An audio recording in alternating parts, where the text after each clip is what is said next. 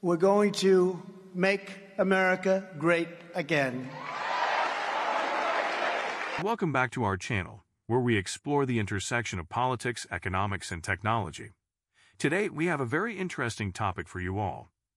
We will be discussing Trump's views on capitalism and the environment, and how AI can shape our future in this regard. So, without further ado, let's get started.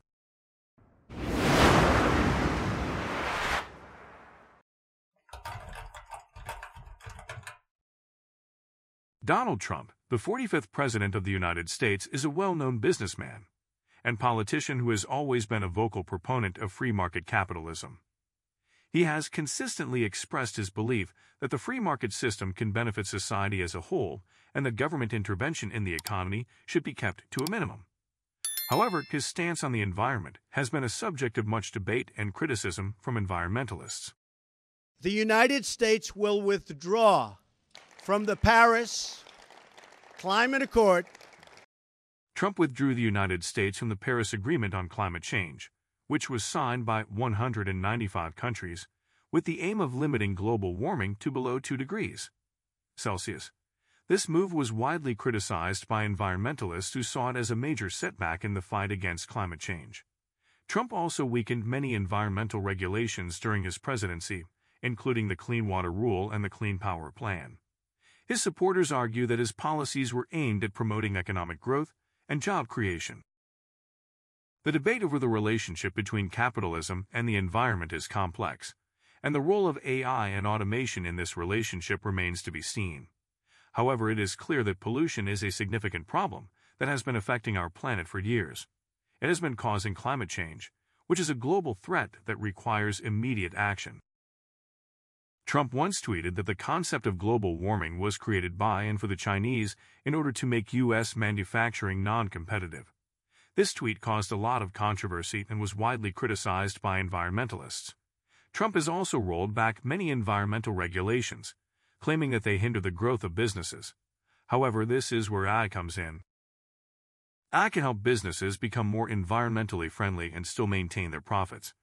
With AI, factories can monitor their energy consumption and reduce their carbon footprint. AI can also help in waste management and recycling. For example, AI can identify and sort recyclable materials, making the recycling process more efficient and cost-effective. Moreover, AI can help in the development of renewable energy sources. With AI, we can predict weather patterns and optimize the use of solar and wind energy. This can help reduce our dependence on fossil fuels which is a major cause of pollution. AI can also help in the development of smart grids that can balance energy demand and supply. Smart cities are also a significant development in this regard. With AI, we can create more sustainable and efficient cities. For example, smart traffic systems can help reduce congestion and emissions. Smart buildings can optimize energy consumption and reduce waste. AI can also help in the development of green spaces in cities, such as parks and gardens, which can help reduce air pollution and provide recreational opportunities for residents. In conclusion, we can say that capitalism and the environment are not mutually exclusive. With the help of AI, we can create a sustainable and profitable future. It is essential to balance economic growth with environmental responsibility. Governments and businesses must work together to promote sustainable development and create a better future for us all. As we move forward into an era of increasing automation and AI, it will be interesting to see how these issues continue to evolve and what solutions will be put forth to ensure a sustainable future for us all. We hope you enjoyed this video. If you have any thoughts or comments on this topic, please share them in the comments section below. We would love to hear your perspectives on the intersection of politics, economics, and technology.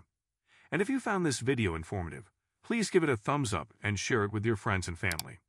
It helps us reach a wider audience and spread awareness about these important issues. Also, don't forget to hit the notification bell to stay updated on our latest videos. We have a lot of exciting topics coming up, so stay tuned. That's it for today's video. Thank you again for watching, and we'll see you the next one.